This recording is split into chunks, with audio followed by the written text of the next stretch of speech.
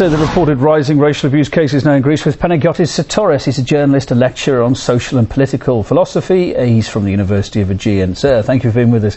I mean, are these attacks that uh, Jacob was talking about there on immigrants largely spontaneous or organised in any way? How do you see it? No, they're organized. I think that we are witnessing the rise of a neo-fascist movement. Uh, which was also expressed in the electoral success of the Golden Dawn Party, a party with open neo-fascist, even neo-Nazi uh, positions, and they are organizing all these uh, attacks, uh, which is part of their uh, propaganda and, in a way, appeal. And yes. this is how they also try to attract people, mainly people who are disappointed, who, who, are full of anger, and they are trying to direct this anger to victims, such as uh, Im- immigrants. It's a very, it's a very negative uh, development. It is a sign of a very deep social and political uh, crisis in Greece. All this rise of uh, xenophobia in Greece and all these racist uh, attacks. But it's it's also the responsibility of mainstream parties. Yeah, in the past two years, yes.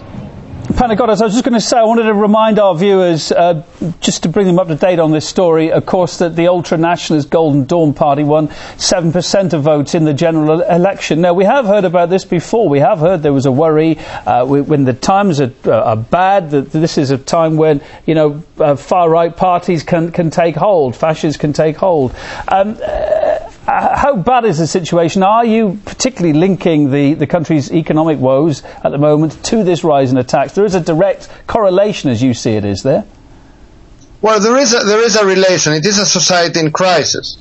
Most of the people who feel the burden of crisis uh, generally opted not for the neo-fascists. Uh, on the contrary, we've seen uh, more progressive forms of radicalization of society, especially those people who in the past two years had experiences of collective struggle.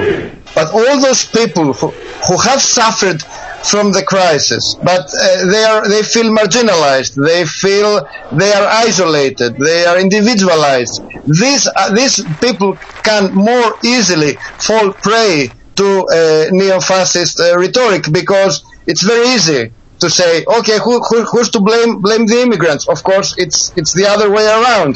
Mm. Immigrants have been the victims of social and economic crisis in Greece. Uh, moreover, they have been worst hit. Unemployed immigrants are much more than unemployed Greeks in, in terms of uh, percentage. They are the weakest uh, link in the labor market uh, chain. And so they are also victims, and that's the problem because uh, if we see the, if we see the large picture, people, people who are suffering, Greek people, th- uh, should be, you know, uh, shoulder to shoulder with mm. immigrants because they f- they face the same problems, they live in the same neighborhoods, they face the, the same danger of poverty, and that's a problem with uh, uh, racist uh, rhetoric and practices. They divide social strata, which could be part of a broader alliance for progressive change. And Panagiotis, of course, also mustn't be forgotten. Immigrants are often prepared to work for less, doing jobs that maybe other people don't want to do.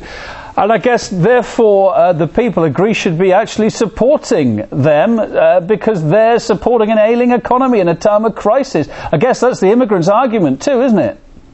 Well, uh, whatever one might call uh, development or growth in the past two decades in Greece, it, it, should be mainly attributed also to uh, immigrant labor. They, they've been part of this society. They've been part of this labor force, and most of them want they want to be part of Greek society. They want to have a job. They want, they want to have a, a decent life, and that's the problem with neo-fascist uh, practices and rhetoric that they do not they do not turn anger against those who are responsible. They turn anger and rage against the victims of the current crisis. How have the police been seen to be handling these complaints? There's a very, very big problem with the police, which was also, which can also be explained by the fact that far right, even fascist uh, political positions uh, today prevail uh, within the Greek police force, as it was uh, made evident by the fact that in polling in special polling stations at the recent elections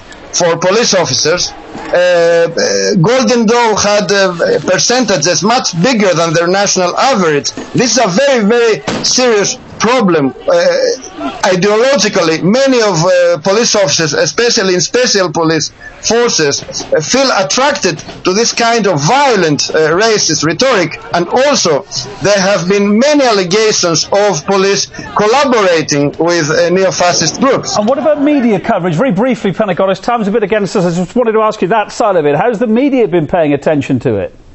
I think that the media, uh, mainstream media, have been in a way responsible because in the past, uh, past couple of years, they have fueled anti-immigrant feelings. They have legitimized, in a way, anti-immigrant rhetoric. Of course, now, when they saw that this kind of violence in front of them, for example, when a a neo-fascist member of parliament attacked other members of parliament on live television. They denounced these sort of practices, but they have fueled anti-immigrant rhetoric in the past. Thanks ever so much for your thoughts, Panagoras Sotiris, journalist, lecturer, and uh, social and politically, political philosopher at the University of Aegean. It's a mouthful, that. Thank you for being on the line, sir. Thank you. Good night.